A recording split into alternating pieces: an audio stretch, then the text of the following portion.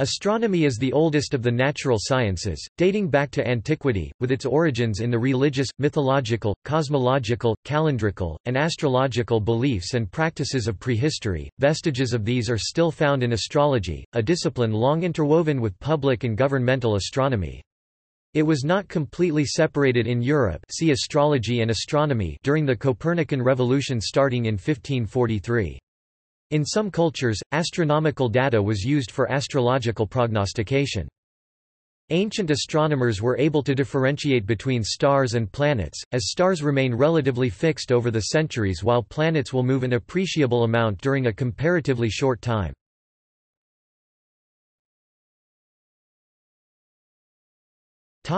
Early history Early cultures identified celestial objects with gods and spirits. They related these objects and their movements to phenomena such as rain, drought, seasons, and tides. It is generally believed that the first astronomers were priests, and that they understood celestial objects and events to be manifestations of the divine, hence early astronomy's connection to what is now called astrology. Ancient structures with possibly astronomical alignments such as Stonehenge probably fulfilled astronomical, religious, and social functions.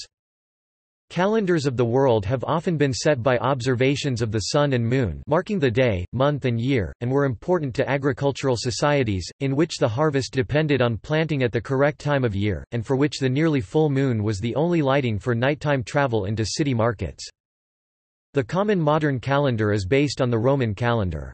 Although originally a lunar calendar, it broke the traditional link of the month to the phases of the moon and divided the year into 12 almost equal months, that mostly alternated between 30 and 31 days. Julius Caesar instigated calendar reform in 46 BCE and introduced what is now called the Julian calendar, based upon the 365 one-quarter day year length originally proposed by the 4th century BCE Greek astronomer Callippus.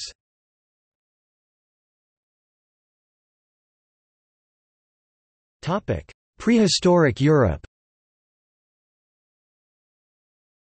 Since 1990 our understanding of prehistoric Europeans has been radically changed by discoveries of ancient astronomical artifacts throughout Europe. The artifacts demonstrate that Neolithic and Bronze Age Europeans had a sophisticated knowledge of mathematics and astronomy. Among the discoveries are Bone sticks from locations like Africa and Europe from possibly as long ago as 35,000 BCE are marked in ways that track the Moon's phases. The Warren Field Calendar in the Dee River Valley of Scotland's Aberdeenshire. First excavated in 2004 but only in 2013 revealed as a find of huge significance, it is to date the world's oldest known calendar, created around 8000 BC and predating all other calendars by some 5000 years. The calendar takes the form of an early Mesolithic monument containing a series of 12 pits which appear to help the observer track lunar months by mimicking the phases of the Moon. It also aligns to sunrise at the winter solstice, thus coordinating the solar year with the lunar cycles. The monument had been maintained and periodically reshaped, perhaps up to hundreds of times, in response to shifting solar, lunar cycles, over the course of 6,000 years, until the calendar fell out of use around 4,000 years ago. Goseck Circle is located in Germany and belongs to the linear pottery culture. First discovered in 1991, its significance was only clear after results from archaeological digs became available in 2004. The site is one of hundreds of similar circular enclosures built in a region encompassing Austria, Germany, and the Czech Republic during a 200-year period starting shortly after 5000 BC.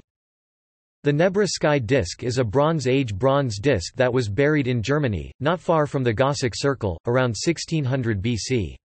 It measures about 30 cm diameter with a mass of 2.2 kg and displays a blue-green patina from oxidization inlaid with gold symbols. Found by archaeological thieves in 1999 and recovered in Switzerland in 2002, it was soon recognized as a spectacular discovery, among the most important of the 20th century. Investigations revealed that the object had been in use around 400 years before burial 2000 BC, but that its use had been forgotten by the time of burial. The inlaid gold depicted the full moon, a crescent moon about four or five days old, and the Pleiades star cluster in a specific arrangement forming the earliest known depiction of celestial phenomena. Twelve lunar months pass in 354 days, requiring a calendar to insert a leap month every two or three years in order to keep synchronized with the solar year's seasons making it lunisolar. The earliest known descriptions of this coordination were recorded by the Babylonians in 6th or 7th centuries BC, over 1,000 years later. Those descriptions verified ancient knowledge of the Nebra sky disk's celestial depiction as the precise arrangement needed to judge when to insert the intercalary month into a lunisolar calendar, making it an astronomical clock for regulating such a calendar a thousand or more years before any other known method. The Kokino site, discovered in 2001, sits atop an extinct volcanic cone at an elevation of 1,013 metres 3,323 feet, occupying about 0.5 hectares overlooking the surrounding countryside in Macedonia. A Bronze Age astronomical observatory was constructed there around 1900 BC and continuously served the nearby community that lived there until about 700 BC. The central space was used to observe the rising of the Sun and full moon. Three markings locate sunrise at the summer and winter solstices and at the two equinoxes. Four more give the minimum and maximum declinations of the full moon, in summer, and in winter. Two measure the lengths of lunar months. Together, they reconcile solar and lunar cycles in marking the 235 lunations that occur during 19 solar years, regulating a lunar calendar. On a platform separate from the central space, at lower elevation, four stone seats thrones were made in north-south alignment, together with a trench marker cut in the eastern wall. This marker allows the rising sun's light to fall on only the second throne, at midsummer about July 31. It was used for ritual ceremony linking the ruler to the local sun god, and also marked the end of the growing season and time for harvest. Golden hats of Germany, France and Switzerland dating from 1400 to 800 BC are associated with the Bronze Age urn field culture. The golden hats are decorated with a spiral motif of the sun and the moon. They were probably a kind of calendar used to calibrate between the lunar and solar calendars. Modern scholarship has demonstrated that the ornamentation of the gold leaf cones of the Schifferstadt type, to which the Berlin gold hat example belongs, represent systematic sequences in terms of number and types of ornaments per band. A detailed study of the Berlin example, which is the only fully preserved one, showed that the symbols probably represent a lunisolar calendar. The object would have permitted the determination of dates or periods in both lunar and solar calendars.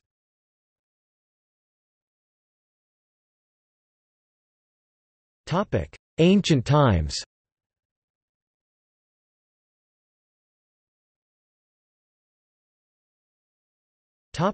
Mesopotamia. The origins of Western astronomy can be found in Mesopotamia, the land between the rivers, Tigris and Euphrates, where the ancient kingdoms of Sumer, Assyria, and Babylonia were located. A form of writing known as cuneiform emerged among the Sumerians around 3500–3000 BC. Our knowledge of Sumerian astronomy is indirect, via the earliest Babylonian star catalogues dating from about 1200 BC. The fact that many star names appear in Sumerian suggests a continuity reaching into the early Bronze Age. Astral theology, which gave planetary gods an important role in Mesopotamian mythology and religion, began with the Sumerians. They also used a sexagesimal base 60 place value number system, which simplified the task of recording very large and very small numbers. The modern practice of dividing a circle into 360 degrees, or an hour into 60 minutes, began with the Sumerians. For more information, see the articles on Babylonian numerals and mathematics. Classical sources frequently use the term Chaldeans for the astronomers of Mesopotamia, who were, in reality, priest-scribes specializing in astrology and other forms of divination. The first evidence of recognition that astronomical phenomena are periodic and of the application of mathematics to their prediction is Babylonian. Tablets dating back to the Old Babylonian period document the application of mathematics to the variation in the length of daylight over a solar year. Centuries of Babylonian observations of celestial phenomena are recorded in the series of cuneiform tablets known as the Enuma Anu Enlil.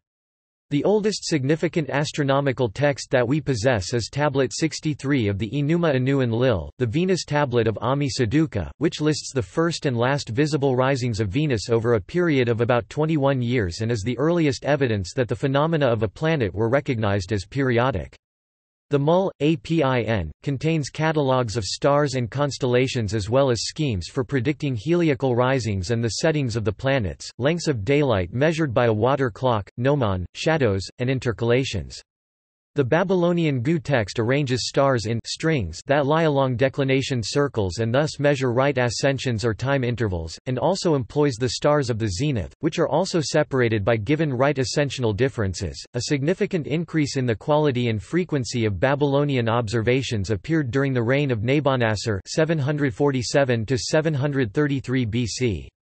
The systematic records of ominous phenomena in Babylonian astronomical diaries that began at this time allowed for the discovery of a repeating 18-year cycle of lunar eclipses, for example. The Greek astronomer Ptolemy later used Nabonassar's reign to fix the beginning of an era, since he felt that the earliest usable observations began at this time. The last stages in the development of Babylonian astronomy took place during the time of the Seleucid Empire 323 60 BC. In the 3rd century BC, astronomers began to use goal year texts to predict the motions of the planets. These texts compiled records of past observations to find repeating occurrences of ominous phenomena for each planet. About the same time, or shortly afterwards, astronomers created mathematical models that allowed them to predict these phenomena directly, without consulting past records. A notable Babylonian astronomer from this time was Seleucus of Seleucia, who was a supporter of the heliocentric model. Babylonian astronomy was the basis for much of what was done in Greek and Hellenistic astronomy, in classical Indian astronomy, in Sasanian Iran, in Byzantium, in Syria, in Islamic astronomy, in Central Asia, and in Western Europe.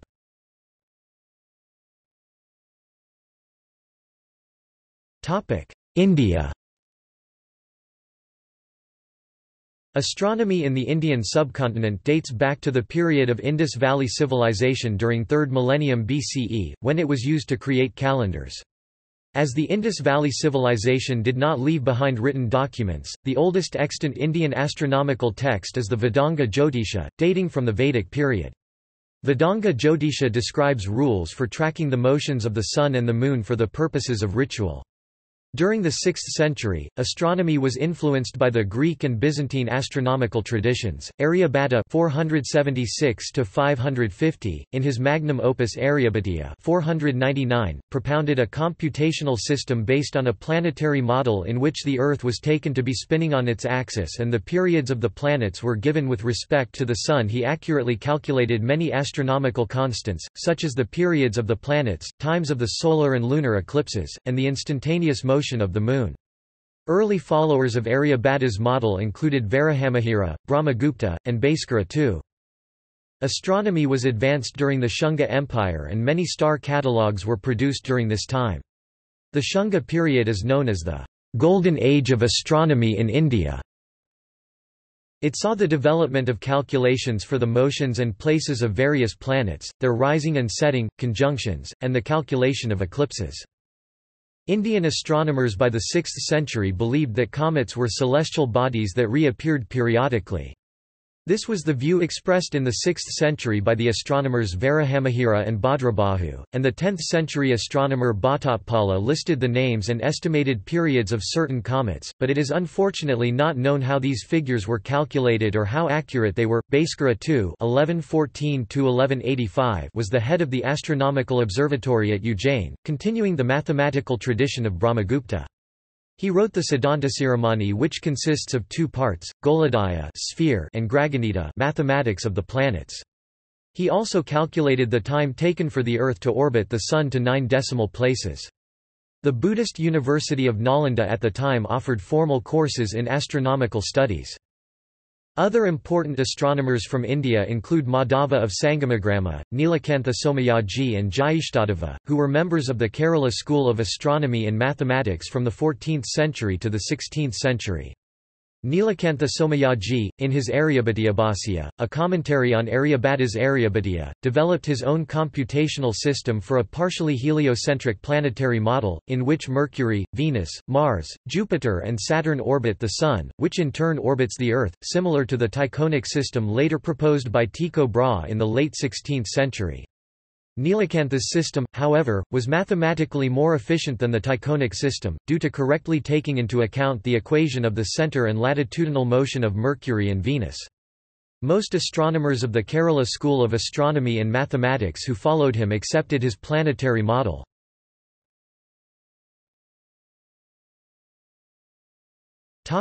Greece and Hellenistic world The ancient Greeks developed astronomy, which they treated as a branch of mathematics, to a highly sophisticated level.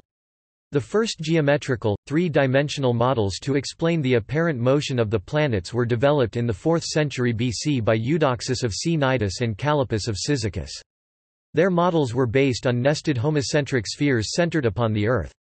Their younger contemporary Heraclides Ponticus proposed that the Earth rotates around its axis. A different approach to celestial phenomena was taken by natural philosophers such as Plato and Aristotle. They were less concerned with developing mathematical predictive models than with developing an explanation of the reasons for the motions of the cosmos. In his Timaeus, Plato described the universe as a spherical body divided into circles carrying the planets and governed according to harmonic intervals by a world soul. Aristotle, drawing on the mathematical model of Eudoxus, proposed that the universe was made of a complex system of concentric spheres, whose circular motions combined to carry the planets around the Earth. This basic cosmological model prevailed, in various forms, until the 16th century. In the 3rd century BC Aristarchus of Samos was the first to suggest a heliocentric system, although only fragmentary descriptions of his idea survive. Eratosthenes, using the angles of shadows created at widely separated regions, estimated the circumference of the Earth with great accuracy. Greek geometrical astronomy developed away from the model of concentric spheres to employ more complex models in which an eccentric circle would carry around a smaller circle, called an epicycle, which in turn carried around a planet. The first such model is attributed to Apollonius of Perga, and further developments in it were carried out in the 2nd century BC by Hipparchus of Nicaea. Hipparchus made a number of other contributions, including the first measurement of precession and the compilation of the first star catalogue in which he proposed our modern system of apparent magnitudes. The Antikythera mechanism, an ancient Greek astronomical observational device for calculating the movements of the Sun and the Moon, possibly the planets, dates from about 150 to 100 BC, and was the first ancestor of an astronomical computer. It was discovered in an ancient shipwreck off the Greek island of Antikythera, between Kythera and Crete. The device became famous for its use of a differential gear, previously believed to have been invented in the 16th century, and the miniaturization and complexity of its parts, comparable to a clock made in the 18th century. The original mechanism is displayed in the bronze collection of the National Archaeological Museum of Athens, accompanied by a replica. Depending on the historian's viewpoint, the acme or corruption of physical Greek astronomy is seen with Ptolemy of Alexandria, who wrote the classic comprehensive presentation of geocentric astronomy, the Megale Syntaxis Great Synthesis, better known by its Arabic title Almagest, which had a lasting effect on astronomy up to the Renaissance. In his planetary hypotheses, Ptolemy ventured into the realm of cosmology, developing a physical model of his geometric system, in a universe many times smaller than the more realistic conception of Aristarchus of Samos four centuries earlier.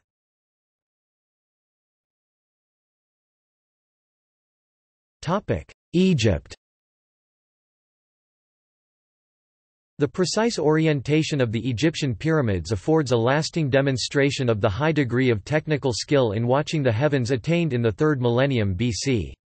It has been shown the pyramids were aligned towards the pole star, which, because of the precession of the equinoxes, was at that time Thuban, a faint star in the constellation of Draco. Evaluation of the site of the Temple of Amun-Re at Karnak, taking into account the change over time of the obliquity of the ecliptic, has shown that the Great Temple was aligned on the rising of the midwinter sun. The length of the corridor down which sunlight would travel would have limited illumination at other times of the year. Astronomy played a considerable part in religious matters for fixing the dates of festivals and determining the hours of the night. The titles of several temple books are preserved recording the movements and phases of the sun, moon and stars. The rising of Sirius Egyptian, Sopdet, Greek, Sothis at the beginning of the inundation was a particularly important point to fix in the yearly calendar. Writing in the Roman era, Clement of Alexandria gives some idea of the importance of astronomical observations to the sacred rites. And after the singer advances the astrologer, horoscopos with a horologium horologion in his hand, and a palm, phoinix the symbols of astrology. He must know by heart the Hermetic astrological books, which are four in number. Of these, one is about the arrangement of the fixed stars that are visible, one on the positions of the Sun and Moon and five planets, one on the conjunctions and phases of the Sun and Moon, and one concerns their risings. The astrologer's instruments horologium and palm are a plumb line and sighting instrument. They have been identified with two inscribed objects in the Berlin Museum, a short handle from which a plumb line was hung, and a palm branch with a sight slit in the broader end. The latter was held close to the eye, the former in the other hand, perhaps at arm's length. The Hermetic books which Clement refers to are the Egyptian theological texts, which probably have nothing to do with Hellenistic Hermetism. From the tables of stars on the ceiling of the tombs of Ramesses VI and Ramesses IX, it seems that for fixing the hours of the night, a man seated on the ground faced the astrologer in such a position that the line of observation of the pole star passed over the middle of his head. On the different days of the year each hour was determined by a fixed star culminating or nearly culminating in it, and the position of these stars at the time is given in the tables as in the center, on the left eye, on the right shoulder, etc. According to the texts, in founding or rebuilding temples the north axis was determined by the same apparatus, and we may conclude that it was the usual one for astronomical observations. In careful hands it might give results of a high degree of accuracy.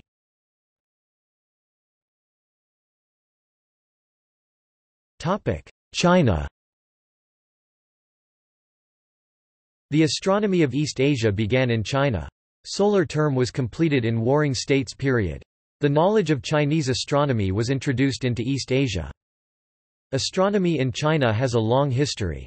Detailed records of astronomical observations were kept from about the 6th century BC, until the introduction of Western astronomy and the telescope in the 17th century. Chinese astronomers were able to precisely predict eclipses. Much of early Chinese astronomy was for the purpose of timekeeping. The Chinese used a lunisolar calendar, but because the cycles of the Sun and the Moon are different, astronomers often prepared new calendars and made observations for that purpose. Astrological divination was also an important part of astronomy. Astronomers took careful note of guest stars, which suddenly appeared among the fixed stars. They were the first to record a supernova, in the astrological annals of the Hou Hanshu in 185 AD. Also, the supernova that created the Crab Nebula in 1054 is an example of a guest star observed by Chinese astronomers, although it was not recorded by their European contemporaries. Ancient astronomical records of phenomena like supernovae and comets are sometimes used in modern astronomical studies. The world's first star catalogue was made by Gan De, a Chinese astronomer, in the 4th century BC.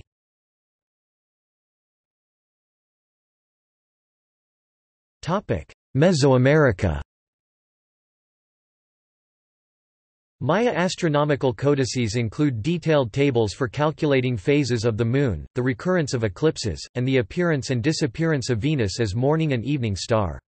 The Maya based their calendrics in the carefully calculated cycles of the Pleiades, the Sun, the Moon, Venus, Jupiter, Saturn, Mars, and also they had a precise description of the eclipses as depicted in the Dresden Codex, as well as the ecliptic or zodiac, and the Milky Way was crucial in their cosmology. A number of important Maya structures are believed to have been oriented toward the extreme risings and settings of Venus. To the ancient Maya, Venus was the patron of war and many recorded battles are believed to have been timed to the motions of this planet. Mars is also mentioned in preserved astronomical codices and early mythology. Although the Maya calendar was not tied to the sun, John Teeple has proposed that the Maya calculated the solar year to somewhat greater accuracy than the Gregorian calendar. Both astronomy and an intricate numerological scheme for the measurement of time were vitally important components of Maya religion.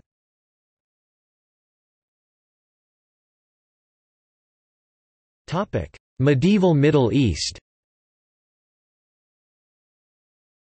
The Arabic and the Persian world under Islam had become highly cultured, and many important works of knowledge from Greek astronomy and Indian astronomy and Persian astronomy were translated into Arabic, used and stored in libraries throughout the area. An important contribution by Islamic astronomers was their emphasis on observational astronomy. This led to the emergence of the first astronomical observatories in the Muslim world by the early 9th century. ZIJ star catalogues were produced at these observatories. In the 10th century, Abd al-Rahman al-Sufi carried out observations on the stars and described their positions, magnitudes, brightness, and color and drawings for each constellation in his Book of Fixed Stars. He also gave the first descriptions and pictures of a little cloud, now known as the Andromeda Galaxy. He mentions it as lying before the mouth of a big fish, an Arabic constellation. This cloud was apparently commonly known to the Isfahan astronomers, very probably before 905 AD. The first recorded mention of the Large Magellanic Cloud was also given by al-Sufi. In 1006, Ali ibn Ridwan observed SN 1006, the brightest supernova in recorded history, and left a detailed description of the temporary star.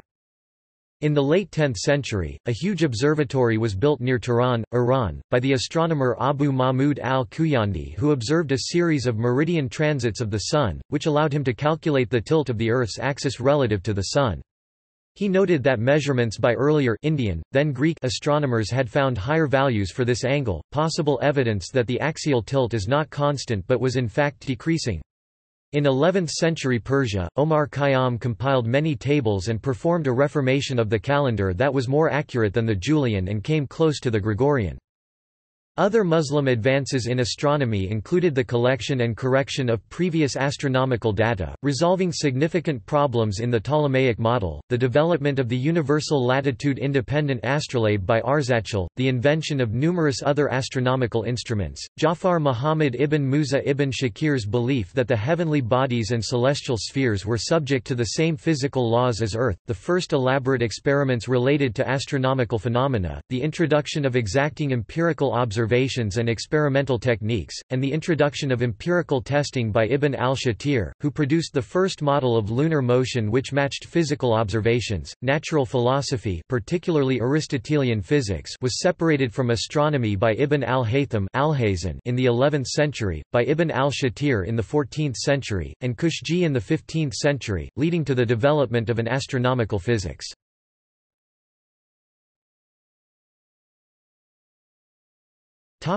Medieval Western Europe After the significant contributions of Greek scholars to the development of astronomy, it entered a relatively static era in Western Europe from the Roman era through the 12th century. This lack of progress has led some astronomers to assert that nothing happened in Western European astronomy during the Middle Ages. Recent investigations, however, have revealed a more complex picture of the study and teaching of astronomy in the period from the 4th to the 16th centuries. Western Europe entered the Middle Ages with great difficulties that affected the continent's intellectual production. The advanced astronomical treatises of classical antiquity were written in Greek, and with the decline of knowledge of that language, only simplified summaries and practical texts were available for study. The most influential writers to pass on this ancient tradition in Latin were Macrobius, Pliny, Martianus Capella, and Chalcidius. In the 6th century Bishop Gregory of Tours noted that he had learned his astronomy from reading Martianus Capella, and went on to employ this rudimentary astronomy to describe a method by which monks could determine the time of prayer at night by watching the stars. In the 7th century the English monk Bede of Jarrow published an influential text, On the Reckoning of Time, providing churchmen with the practical astronomical knowledge needed to compute the proper date of Easter using a procedure called the computus. This text remained an important element of the education of clergy from the 7th century until well after the rise of the universities in the 12th century. The range of surviving ancient Roman writings on astronomy and the teachings of Bede and his followers began to be studied in earnest during the revival of learning sponsored by the Emperor Charlemagne. By the 9th century, rudimentary techniques for calculating the position of the planets were circulating in Western Europe. Medieval scholars recognized their flaws, but texts describing these techniques continued to be copied reflecting an interest in the motions of the planets and in their astrological significance. Building on this astronomical background, in the 10th century European scholars such as Gerbert of Aurillac began to travel to Spain and Sicily to seek out learning which they had heard existed in the Arabic-speaking world. There they first encountered various practical astronomical techniques concerning the calendar and timekeeping, most notably those dealing with the astrolabe. Soon scholars such as Hermann of Reichenau were writing texts in Latin on the uses and construction of the astrolabe and others, such as Walcher of Malvern, were using the astrolabe to observe the time of eclipses in order to test the validity of computistical tables. By the 12th century, scholars were traveling to Spain and Sicily to seek out more advanced astronomical and astrological texts, which they translated into Latin from Arabic and Greek to further enrich the astronomical knowledge of Western Europe. The arrival of these new texts coincided with the rise of the universities in medieval Europe, in which they soon found a home. Reflecting the introduction of astronomy into the universities, John of Sacrobosco wrote a series of influential introductory astronomy textbooks, The Sphere, a Computus, a text on the quadrant, and another on calculation. In the 14th century, Nicole Oresme, later Bishop of Lisieux, showed that neither the scriptural texts nor the physical arguments advanced against the movement of the Earth were demonstrative and adduced the argument of simplicity for the theory that the Earth moves, and not the heavens. However, he concluded, Everyone maintains, and I think myself, that the heavens do move and not the earth, for God hath established the world which shall not be moved." In the 15th century, Cardinal Nicholas of Cusa suggested in some of his scientific writings that the Earth revolved around the Sun, and that each star is itself a distant sun.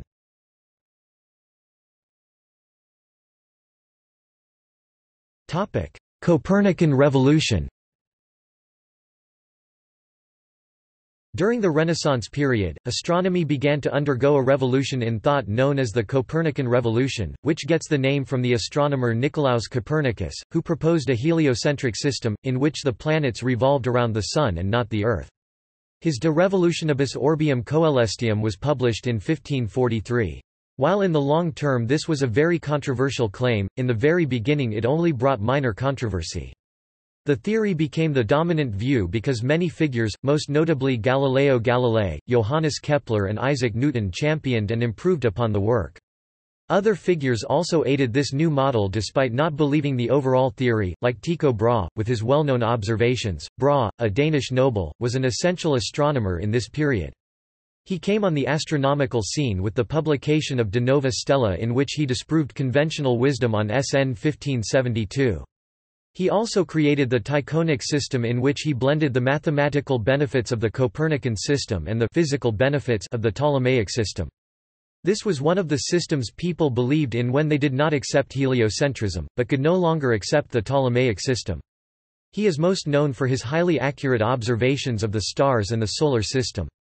Later he moved to Prague and continued his work. In Prague he was at work on the Rudolphine tables, that were not finished until after his death. The Rudolphine tables was a star map designed to be more accurate than either the Alphonsine tables, made in the 1300s and the Prutenic tables which were inaccurate. He was assisted at this time by his assistant Johannes Kepler, who would later use his observations to finish Brahe's works and for his theories as well. After the death of Brahe, Kepler was deemed his successor and was given the job of complete Brahe's uncompleted works, like the Rudolphine tables. He completed the Rudolphine Tables in 1624, although it was not published for several years. Like many other figures of this era, he was subject to religious and political troubles, like the Thirty Year War, which led to chaos that almost destroyed some of his works. Kepler was, however, the first to attempt to derive mathematical predictions of celestial motions from assumed physical causes. Kepler discovered the three laws of planetary motion that now carry his name. Those laws being as follows the orbit of a planet is an ellipse with the Sun at one of the two foci. A line segment joining a planet and the Sun sweeps out equal areas during equal intervals of time. The square of the orbital period of a planet is proportional to the cube of the semi-major axis of its orbit. With these laws, he managed to improve upon the existing heliocentric model. The first two were published in 1609. Kepler's contributions improved upon the overall system, giving it more credibility because it adequately explained events and could cause more reliable predictions. Before this the Copernican model was just as unreliable as the Ptolemaic model. This improvement came because Kepler realized the orbits were not perfect circles, but ellipses. Galileo Galilei was among the first to use a telescope to observe the sky, and after constructing a 20x refractor telescope. He discovered the four largest moons of Jupiter in 1610, which are now collectively known as the Galilean moons, in his honor.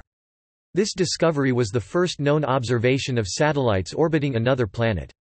He also found that our Moon had craters and observed, and correctly explained, sunspots, and that Venus exhibited a full set of phases resembling lunar phases. Galileo argued that these facts demonstrated incompatibility with the Ptolemaic model, which could not explain the phenomenon and would even contradict it. With the moons it demonstrated that the Earth does not have to have everything orbiting it and that other parts of the Solar System could orbit another object, such as the Earth orbiting the Sun. In Ptolemaic system the celestial bodies were supposed to be perfect so such objects should not have craters or sunspots. The phases of Venus could only happen in the event that Venus' orbit is inside Earth's orbit which could not happen if the Earth was the center. He, as the most famous example, had to face challenges from church officials, more specifically the Roman Inquisition. They accused him of heresy because these beliefs went against the teachings of the Bible and was challenging the Catholic Church's authority when it was at its weakest. While he was able to avoid punishment for a little while he was eventually tried and pled guilty to heresy in 1633. Although this came at some expense—his book was banned, and he was put under house arrest until he died in 1642. Isaac Newton developed further ties between physics and astronomy through his law of universal gravitation. Realizing that the same force that attracts objects to the surface of the Earth held the Moon in orbit around the Earth, Newton was able to explain—in one theoretical framework—all known gravitational phenomena. In his Philosophiae Naturalis Principia Mathematica, he derived Kepler's laws from first principles. Those first principles are as follows In an inertial frame of reference, an object either remains at rest or continues to move at constant velocity, unless acted upon by a force. In an inertial reference frame, the vector sum of the forces F on an object is equal to the mass m of that object multiplied by the acceleration of the object, F equals ma. It is assumed here that the mass m is constant, when one body exerts a force on a second body, the second body simultaneously exerts a force equal in magnitude and opposite in direction on the first body, thus while Kepler explained how the planets moved, Newton accurately managed to explain why the planets moved the way they do. Newton's theoretical developments laid many of the foundations of modern physics.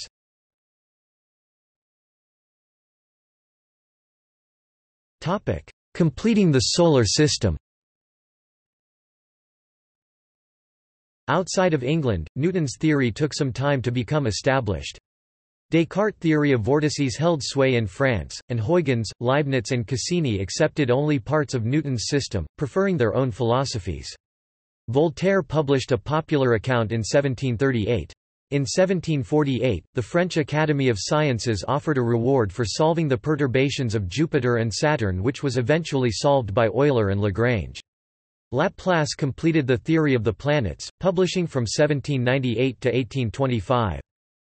Edmund Halley succeeded Flamsteed as Astronomer Royal in England and succeeded in predicting the return in 1758 of the comet that bears his name.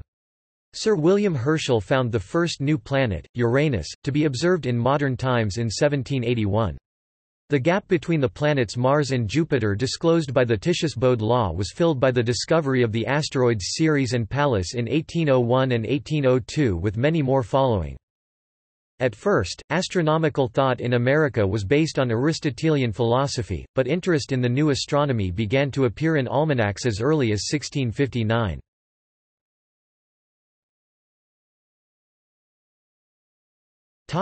Modern astronomy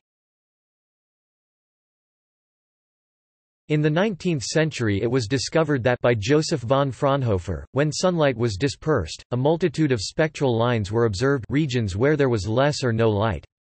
Experiments with hot gases showed that the same lines could be observed in the spectra of gases, specific lines corresponding to unique elements. It was proved that the chemical elements found in the Sun chiefly hydrogen and helium were also found on Earth. During the 20th century spectroscopy the study of these lines advanced, especially because of the advent of quantum physics, that was necessary to understand the observations. Although in previous centuries noted astronomers were exclusively male, at the turn of the 20th century women began to play a role in the great discoveries. In this period prior to modern computers, women at the United States Naval Observatory USNO, Harvard University, and other astronomy research institutions began to be hired as human computers who performed the tedious calculations while scientists performed research requiring more background knowledge. 1 A number of discoveries in this period were originally noted by the women computers and reported to their supervisors. For example, at the Harvard Observatory Henrietta Swan Leavitt discovered the Cepheid variable star period luminosity relation which she further developed into a method of measuring distance outside of our solar system. Annie Jump Cannon, also at Harvard, organized the stellar spectral types according to stellar temperature. In 1847, Maria Mitchell discovered a comet using a telescope. According to Louis D. Eigen, Cannon alone in only four years discovered and catalogued more stars than all the men in history put together. Most of these women received little or no recognition during their lives due to their lower professional standing in the field of astronomy. Although their discoveries and methods are taught in classrooms around the world, few students of astronomy can attribute the works to their authors or have any idea that there were active female astronomers at the end of the 19th century.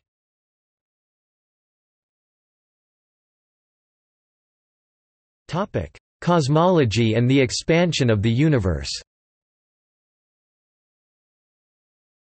Most of our current knowledge was gained during the 20th century. With the help of the use of photography, fainter objects were observed. Our Sun was found to be part of a galaxy made up of more than 1010 stars 10 billion stars. The existence of other galaxies, one of the matters of the Great Debate, was settled by Edwin Hubble, who identified the Andromeda Nebula as a different galaxy, and many others at large distances and receding, moving away from our galaxy.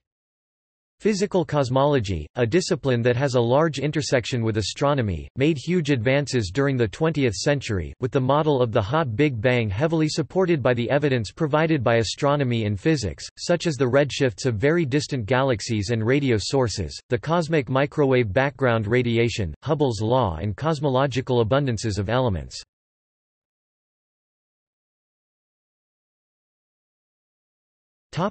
New windows into the cosmos open In the 19th century, scientists began discovering forms of light which were invisible to the naked eye, X-rays, gamma rays, radio waves, microwaves, ultraviolet radiation, and infrared radiation. This had a major impact on astronomy, spawning the fields of infrared astronomy, radio astronomy, X-ray astronomy and finally gamma-ray astronomy. With the advent of spectroscopy it was proven that other stars were similar to our own Sun, but with a range of temperatures, masses and sizes. The existence of our galaxy, the Milky Way, as a separate group of stars was only proven in the 20th century, along with the existence of external galaxies, and soon after, the expansion of the universe seen in the recession of most galaxies from us.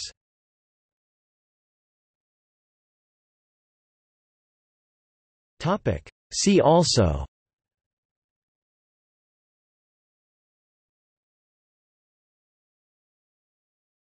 Topic. Notes.